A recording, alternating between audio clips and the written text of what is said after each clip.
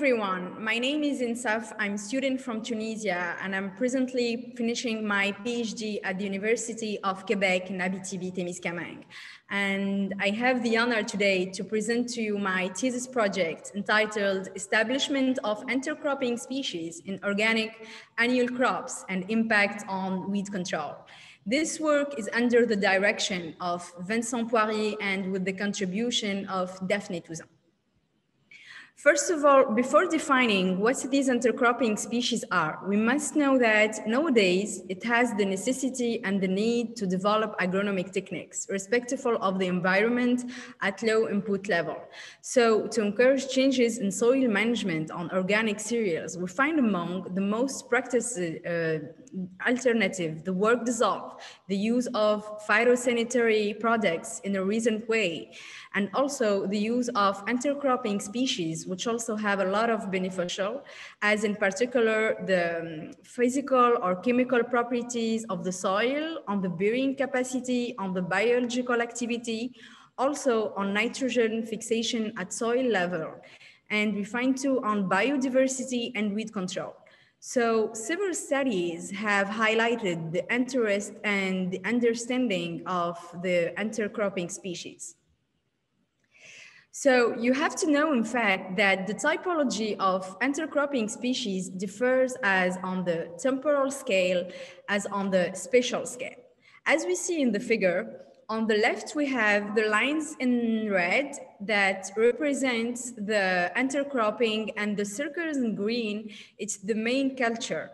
Here it represents only where the species occupies the whole plot. Another case, it could have been on one row out of two. Everything depends on the objective of the farmer. So uh, we can uh, see the difference on the temporal scale, as I said, so it can be uh, those put on in the in month of May, um, seems like on the sowing with the main crop, and also in June with tillering. What brings us to talk about a new approach, which is the functional approach. And to define this approach, we must ask ourselves the question, is that on what level we must focus to better understand the behavior of the species that make up the ecosystem faced with changes in the environment. For a long time, biologists have used that uh, what is called taxonomy to identify plants to classify them, to also study their diversity. But this is not enough. To understand the behavior of plant species, whether it's uh, herbaceous or woody plants in the face of climate change. This is why for 10, uh, 10 years, there have been a new so-called functional approach. This approach is based on the functional traits of the species. And traits are all characteristics, uh, physiological, phenological, morphology, easily measurable at the scale of the individual, and it helps us to learn uh, about the behavior of the species. As you see in the figure uh, on the right, on the left side, there, there are some example of functions defined at the level of the individual while, other, or, um, while the right part of the same figure represents example of its functional marks, namely the mass of seeds, the size of the, um, the leaves, the root density. For example, to understand the, um, the, inter, uh, the intersection of light, we measure the height of the plant. So what brings me now to talk uh, about the objective of this project. And the first thing is was to study the impact of different intercropping species in cereal production on weed community in Poularies, Abitibi for the year of 2018 and 2020 and to compare the effects of intercropping treatments on individual trait values measured at the species and community level. I will briefly now um, go to the methodological part. The present study was carried out, as I said earlier, in Poularies and Abitibi with a farmer in large organic uh, oat production and another farmer who also produce organic wheat. We have placed four treatment modalities, the um, crimson clover, the white clover, the sweet clover, and also a control plot. The four quadrants were placed on each plot, mean on each treatment method. So on each quadra, we had the identification of the species. It's mean a taxonomic identification.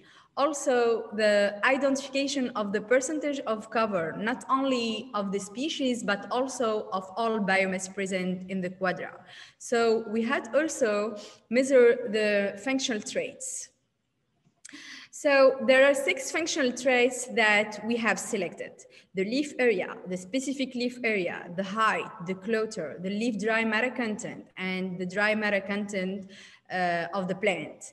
These are traits were measured at the individual level, and also we weighted them at the community level, which brings us to talk about the community weighted mean. According to the mass ratio hypothesis, which uh, states that the species with the highest biomass contribute more to the functioning of the community. And this is in fact called the aggregate traits, which were subsequently calculated for each quadra based on the coverage rate values determined uh, during uh, surveys as well as the trait values measured for each species. So according to this equ um, equation, which is the TI, it's mean the, the value of the trait, multiplied for the PA, which is the relative coverage rate of the species. This will give us an idea of the distribution of plants and also on the functional structure. So I will now turn to our first result on the variation in the structure of species over the two year 2019 and 2020, as you see on the table. Over the two years, as we see the specific richness, and when I speak of specific richness, that is to um, say the number of species and not the abundance. There is uh, a significant difference, like we see, between the year of 2019 and the year of 2020. And it's still in terms of specific richness. It has 16 species for the year of 2019 and 24 species identified for the year 2020. On the other hand, uh, no significant difference if I compare to the scale of each treatment modality. But if we see, on the other hand, if I compare the treatment, um, the Trifolium incarnatum compared to the control plot, we see a significant difference, which is shown by the letter A and D uh, at the level of the percentage of coverage. In fact, we see more coverage at the level of the Trifolium incarnatum treatment than the control plot. In terms of the specific richness, we have more species uh, that were identified on the control against the uh, Trifolium incarnatum. What explains this, in fact, that the Trifolium incarnatum species is a dominant, which managed, in fact, to eliminate the presence of weeds. I will go now to show you the results which only uh, concern the year of 2020 as uh, seen in the figure. As I said earlier, on the Trifolium incarnatum, we had an enormous abundance compared to the other uh, intercropping species. And at the level of weeds, as we, as you see, it's more pronounced at the level of the control plot treatment, where we see many weeds that have been identified.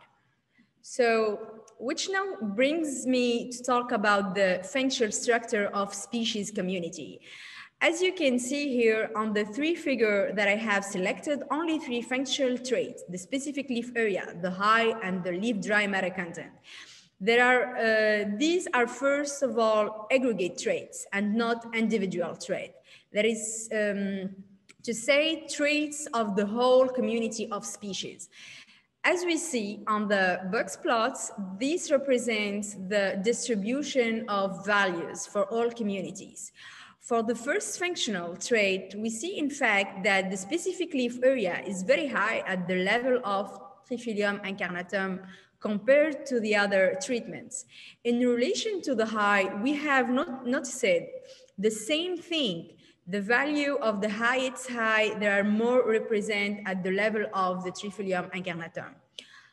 On the other hand, at the level of the leaf dry matter content, as we see on the box plot, the highest values, they were more showing at the level of the control plot and also at the level of the Melilotus officinalis. This leads us to say that they made a positive correlation between specific leaf area and height and negative correlation on the leaf dry matter content. To finish what I have just shown you in terms of result, there is a pronounced evolution of the specific richness from the year of 2019 to the year 2020. And on the functional response of the values of the species, we, we could notice that as you see in the figure, I will take case by case, for the Trifolium incarnatum, we see that it is positively correlated with the highest values in specific leaf area, in height and in clutter. That said, that the species found in its treatment are species with the strategy of acquisition and not of conservation. Moreover, in terms of specific richness, given the Trifolium incarnatum, it turns out to be a dominant species. Therefore, less number of weed species present in this treatment. In fact, the more dense the zone convert, the less weed cover is important. With a coverage threshold of 50% of the zone species, beyond which weed coverage is always less than 25%. Unlike Trifolium repens, it is more correlated with very high values of specific leaf area and the leaf dry matter content. For the contour plot and the Trifolium officinalis, it turns out that they are more correlated with the highest values of leaf dry matter content. So we can say that the species found in this treatment are species with a conservation strategy. So to conclude, that to adopt this different treatment in agro ecosystem, the first thing that is very important to is the choice of the species to sow, which is linked to the mean and objectives of the farmer. And second thing is important is the management of the species. Also, you should know that there are other uh, factors that came into play and that I have not addressed them in this presentation, like the analysis of the properties of the soil. That will play a very important role. For the perspectives, it's, it is necessary to know that there is fundamental importance between traits and ecosystem services. Thank you for your attention. Hope you liked my presentation and that you find this intercropping species a method in need to develop in organic cereals.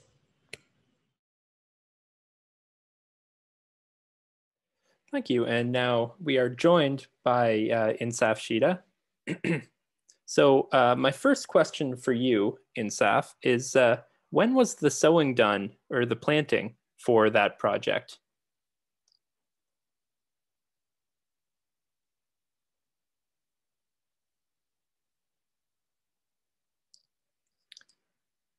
Uh, you might be muted there, Insaf.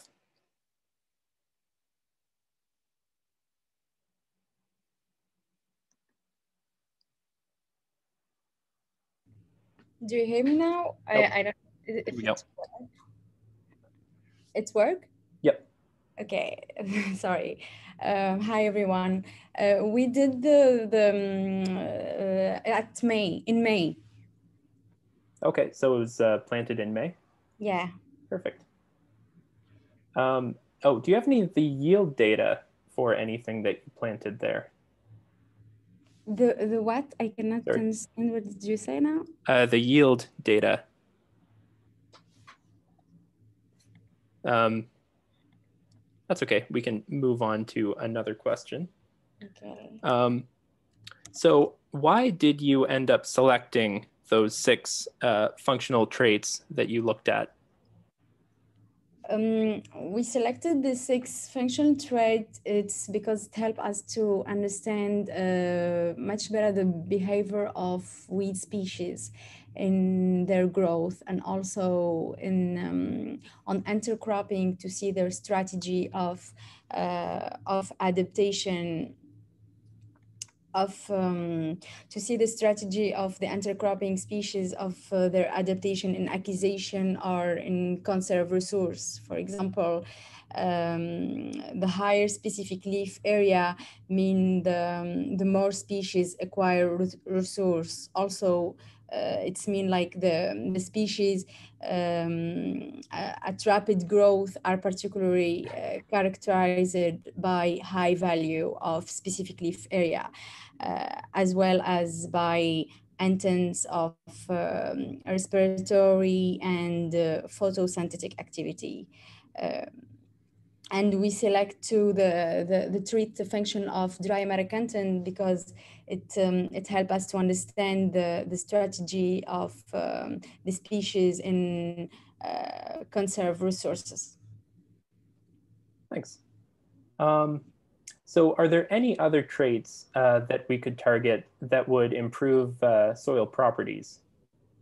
Uh, certainly, uh, there are other traits that were not addressed, uh, like in this presentation, as uh, the root traits, um, and this trait uh, could contribute to to a better understanding of the um, of the influence exerted by by the roots plant on soil properties to to like improve the the stability of aggregates uh, so we can refer to different mechanisms like the density uh, and uh, mycelial eve. Uh, there are also um, there are also chemical traits that uh, that contribute in, in to improve the properties of the soil, like um, the the elementary roots composition, the concentration of root carbon, nitrogen,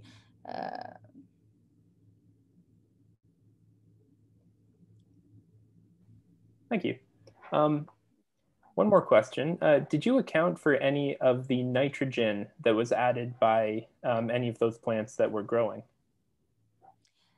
For my uh, my PhD, we didn't work with uh, we didn't use the um, the um, the trait um, the root traits. We uh, we just used the the trait function of uh, the area of plant, the higher the clutter, the specific leaf area. So um, that's why I said that I didn't, um, we didn't um, uh, board or use the, the root traits. So um, I, don't know if I, I answered your question about the uh, const uh, concentration of root nitrogen. Sure. And uh, is your project complete? And uh, if so, uh, where would people be able to find uh, any of the final results from that? Uh, I, it's my last year. Um, I'm in the last year of my PhD, so uh, it will be for the um, the last of the year. I it will be uh, it will be published. So for for for this moment, um, I didn't I didn't finish yet uh, the the whole of the result and the work. Okay, perfect. Well, thanks a lot for joining us, Insaf. You're welcome.